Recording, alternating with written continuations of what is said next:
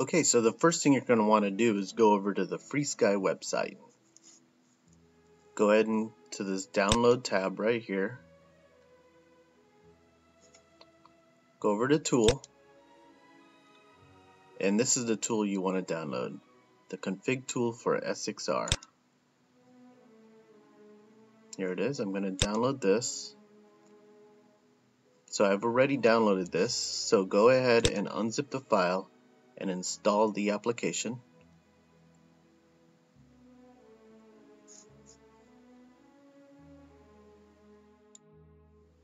So once you have that all unzipped and installed onto your computer, go ahead and open up the S6R application. Okay, so we are ready to plug in your USB configuration tool. We're going to be using the STK you should have already downloaded the drivers for that. If not, they're on the FrSky website under the download page. Move the dip switch to the configuration position and plug in your receiver cable with the correct polarity. Go ahead and plug it in. Then down here you want to make sure you find the correct COM port. I'm in COM 7. Now we're going to plug in our S6R into the S port.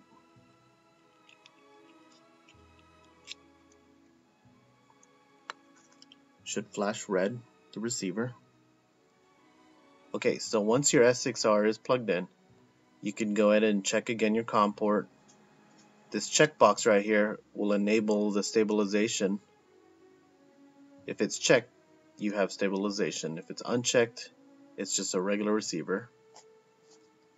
So you can go ahead and click open. Way you could check and see if it's connected is you go over here to accelerometer and if these numbers are moving then you are connected.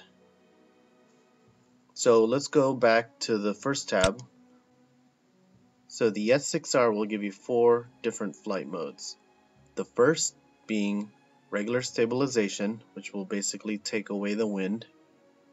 The second being auto level, which will bring the wings level. Uh, the third will be hover, which will keep it in a hover. And the fourth is knife edge, which will help you keep a knife edge. So there are three different wing types you can choose from for your S6R. The first being the traditional aileron elevator and rudder.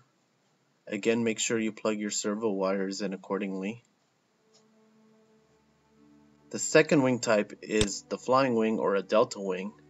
This wing will not allow you to use the hover or knife edge modes. And the third wing type is a V-tail, which will also not let you use the hover or knife edge modes. So go ahead and choose the second tab is the mounting type. This is how you're mounting your S6R in your aircraft. So if the position of your S6R is antennas facing forward, this is the configuration you would choose. And these are other configurations you can use if you have a special install.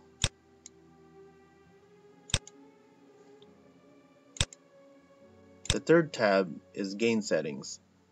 In this you can change the direction of your compensation on your ailerons, elevators, or rudder. And you could also change the gains on the gyros. I would suggest leaving this the way it is and changing it if necessary later. Fourth tab is offset angle. Basically if you have mounted your S6R in a different position other than the positions given, you can offset it here. And the final tab is accelerometer calibration. This tab is very important. This is one step you do not want to skip. So go ahead and plug your S6R into the USB port if you haven't already. Select your COM, enable, and open. So the way you're going to do this is go ahead and get yourself a little box that you can place it on to keep it level. go ahead and look at the diagram and place the S6R according to the diagram. First thing you're going to do is hit calibration. The LED on the S6R should blink yellow. Once it's done blinking, that means it's done. Go and click Next. Move the receiver accordingly.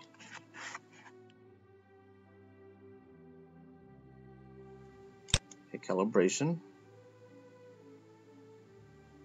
Yellow lights flash.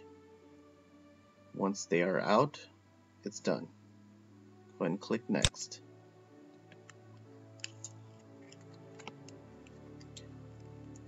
If you hit calibration and it doesn't blink yellow, go ahead and just click it again. Blinking yellow. There it is. Go and click next.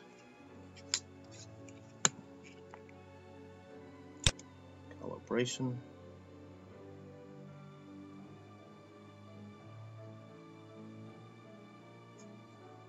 Next.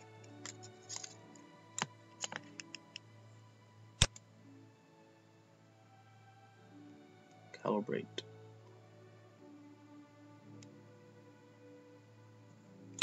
Next.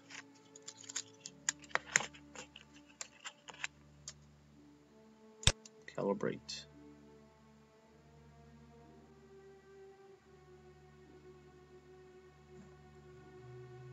Next. And looks like we're all done. Okay, so once you're done with that calibration, the next thing you're going to want to do is save it. The way you're going to do that is click on write and once it's done it will confirm in green here. Great, we're done. Now we can go ahead and close this, unplug it from the USB and install it in our aircraft.